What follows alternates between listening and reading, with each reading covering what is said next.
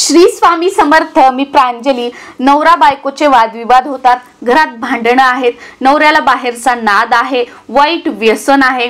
लोकांचं ऐकून नवरा तुम्हाला त्रास देतो. बाहेर सगळ्यांशी चांगलं बोलतो. पण घरात आलं की चिडचिडेपणा ओरडून बोलणं जे सांगितलं त्याच्या उलट करणं मुलांकडे लक्ष न देणं या गोष्टींमुळे आपण त्रस्त आहात. आणि कुठेतरी आपल्याला आपला संसार वाचवायचा आहे. आपल्या नवऱ्याला आपल्याला सरळ लाईनवर आणायचं आहे. यासाठी तुम्हाला कोणताही उपाय करायची गरज नाही. कोणतंही म्हणजे तुम्हाला अगदी कोणतं पारायण नाही माळेची गरज नाही कोणतं स्तोत्र म्हणायचं नाहीये. अगदी साधा आणि सोपा उपाय सांगणार आहे. हा उपाय अगदी प्रत्येक स्त्री करू शकते. तुम्ही आई आहात तुमचा मुलगा मुलासोबत अशा गोष्टी घडत आहेत तुम्ही आपल्या मुलासाठी करू शकता. तुम्ही बहीण आहात तुमच्या भावाला या सगळ्या गोष्टी फेस कराव्या लागत आहेत तुम्ही तुमच्या भावासाठी करू शकता. म्हणजे आपण आपल्या घरातील मंडळींसाठी ही जी सेवा आहे संकल्पयुक्त आपण करू शकतो. अगदी तीन ते चार दिवसामध्येच तुम्हाला त्या व्यक्तीमध्ये फरक दिसू लागेल. आणि कंटिन्युटीमध्ये जर आपण ही सेवा केली तर त्या व्यक्तीच्या वागण्यामध्ये त्या व्यक्तीच्या बोलण्यामध्ये त्या व्यक्तीच्या वाईट सवयी सुद्धा हळूहळू कमी होत आहेत. ती व्यक्ती घरामध्ये लक्ष देत आहे. असे बरेच अनुभव तुम्हाला यायला लागतील. फक्त श्रद्धा ठेवायची. विश्वास ठेवायचा आणि हा उपाय जो आहे तो कंटिन्युटीमध्ये करायचा. खंड पडू द्यायचा नाही. पिरियड्स आले सुतक आले तेवढे दिवस थांबवा काही हरकत नाही. ते संपल्यानंतर जिथे स्टॉप झालं होतं तिथून पुढे कंटिन्यू करा. हा उपाय तुम्ही समजा एकवीस दिवस एक्केचाळीस दिवस हे दिवस न मोजता कंटिन्यू तीन महिने सहा महिने किंवा तुमच्या घरातील परिस्थिती पूर्ण हंड्रेड पर्सेंट ठीक होईपर्यंत तुम्ही केला.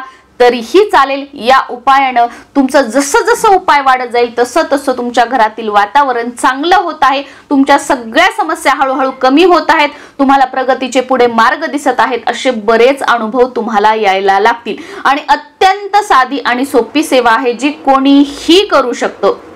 ही सेवा तुम्ही सकाळी उठल्यापासून ते रात्री झोपेपर्यंत तुमच्या वेळेनुसार कधीही करू शकता कधीही.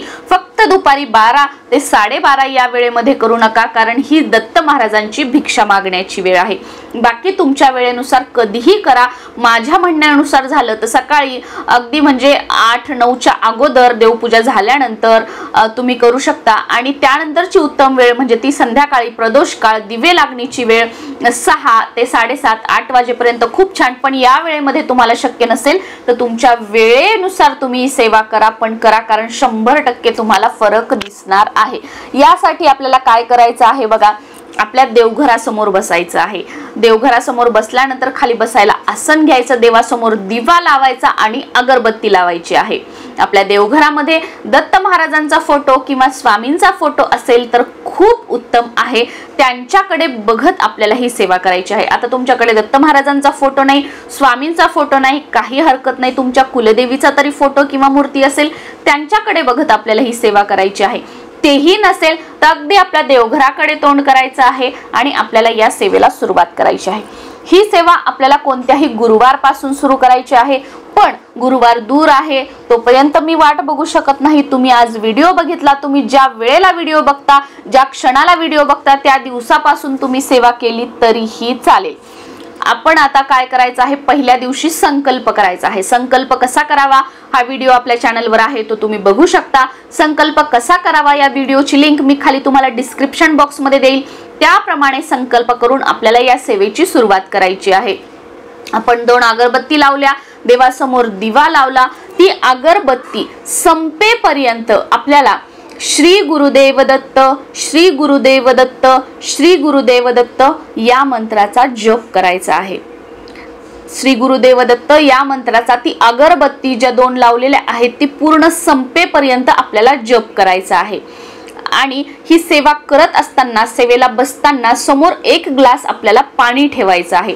आणि हा जो जप आहे तो मोठ्याने बोलायचा आहे किमान आपल्या स्वतःला ऐकू येईल अशा आवाजामध्ये. म्हणजे काय? ते जे ग्लासमध्ये पाणी ठेवलेलं आहे ते पाणी श्री गुरुदेव दत्त या मंत्राने अभिमंत्रित होईल आणि त्या पाण्याचं अमृतामध्ये रूपांतर होईल. आणि हेच पाणी जे आहे ते औषध म्हणून जी काही आपल्यावर परिस्थिती ओढावली आहे जी व्यक्ती म्हणजे त्याला चांगल्याची वाईटाची समज राहिलेली नाहीये त्या व्यक्तीला थाळ्यावर आणण्याचं काम जे आहे ते हबी अभिमंत्रित पाणी करेल हे अमृता समान जल करेल. त्यामुळे ग्लासामध्ये कोणताही काचेचा ग्लास घ्या स्टीलचा ग्लास घ्या किंवा एखाद्या भांड्यामध्ये घ्या कशामध्येही तुम्ही हे पाणी समोर ठेवू शकता. आता अगरबत्ती संपेपर्यंत आपण श्री गुरुदेवदत्त या मंत्राचं चॅन्टिंग केलं. त्यानंतर ती अगरबत्ती संपल्यानंतर अगरबत्ती जर आयुर्वेदिक असेल तर खूप उत्तम किंवा नसेल तरीही बघा म्हणजे माझ्यानुसार मला असं वाटतं जे लोक दारू पितात सिगरेट ओढतात त्या पुड्या खातात काही ते तर किती म्हणजे ते असं केमिकल असलेलं किंवा ते विषा समान ज्या त्या वस्तू आहेत ते ते खातात.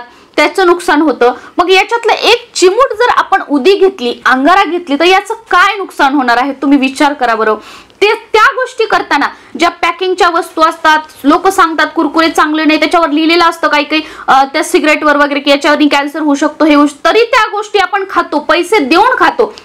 आणि जिथे भक्तिभावाची म्हणजे गरज असते जिथे आपण हे करतो तिथे आपण विचार करतो अरे ही केमिकलची अगरबत्ती आहे तुम्ही असं कसं सांगितलं तुम्ही असं कसं म्हणता? अरे त्या गोष्टी करताना विचार करत नाही.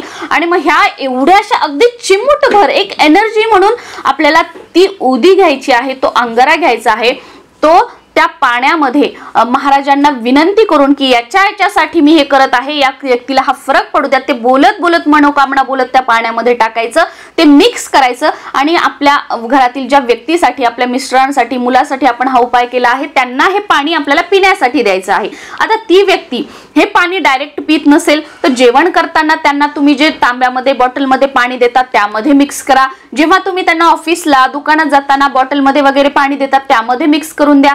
किंवा तुम्हालाच थोडेसे कष्ट लागतील त्यांच्यासाठी एखादी स्पेशल भाजी बनवा भात बनवा दोन पोळ्या बनवा म्हणजे ज्याला तुम्ही चपाती म्हणतात ते बनवा त्याच्यामध्ये हे पाणी वापरा. म्हणजे काहीही करून हे जे पाणी आहे ते कंटिन्युटीमध्ये रोज तुम्हाला एकवीस दिवस एक्केचाळीस दिवस तीन महिने सहा महिने तुम्हाला त्या व्यक्तीला पिण्यासाठी द्यायचं आहे. अगदी तुम्हाला काही सुरुवातीच्या दोन तीन दिवसांमध्येच त्या व्यक्तीमध्ये फरक होताना दिसून येईल. फक्त विश्वास ठेवा श्रद्धा ठेवा महाराजांना शरण जा. नक्कीच त्या व्यक्तीला चांगल्याची वाईटाची जाणीव होऊ लागेल. आणि ती जी व्यक्ती आहे तुमच्या आयुष्यामध्ये परत येईल म्हणजे चांगलं वागेल वाईट गोष्टी सोडून देईल आणि तुमचा संसार जो आहे तो सुखाचा होईल. श्रद्धेने करा शंभर टक्के काम होईल. तुम्ही सगळीकडून हारलेले आहात. मार्ग दिसत नाहीये काही हरकत नाही ही सेवा करा. तुम्हाला शंभर टक्के मार्ग मिळेल. आणि तुमचे मिस्टर किंवा तुम्ही दादा आहात तुमची पत्नी म्हणजे ऐकत नाहीये किंवा माहेरी गेलेली आहे किंवा त्रास देते किंवा काय तर तुम्ही हा उपाय करा. पत्नीला हे पाणी द्या. शंभर टक्के काम होईल. शंभर टक्के होईल. श्री स्वामी समर्थ.